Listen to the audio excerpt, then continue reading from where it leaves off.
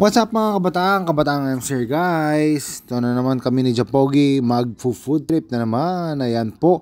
Dito kami pupunta sa Freshway. Sa malapit lang po sa highway po guys.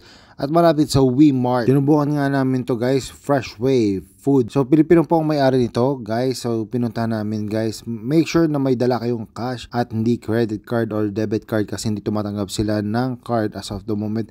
I'm not very sure if uh, available po sila ngayon. So meron nga po kami fried kangkong, sising sisig, sising sisig at at saka pares guys. Sinig pa namin guys. Napakasarap napaka-tender at saka masarap ang kanilang pagpipilian. Ang dami po sila nga pala pagpipilian sa kanilang menu. So yun, subukan nyo guys. Ang sarap nga din itong sisig na to. Grabe. Mmm, lala. Grabe naman po. At masarap yung bulalo soup nila. So ito ay kasama sa or included sa menu or sa pagkain nila.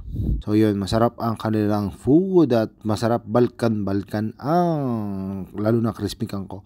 Ayan na nga po si Japogi. No, unang subo Thank you Lord lahat. So sinubukan nating mag-vlog ng pagkain. So punta na dito. Let's go! Ano pang hinihintay nyo?